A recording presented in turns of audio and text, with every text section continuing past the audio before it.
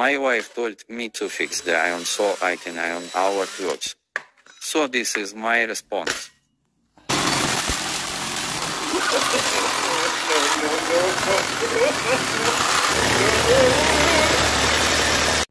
Ironing done.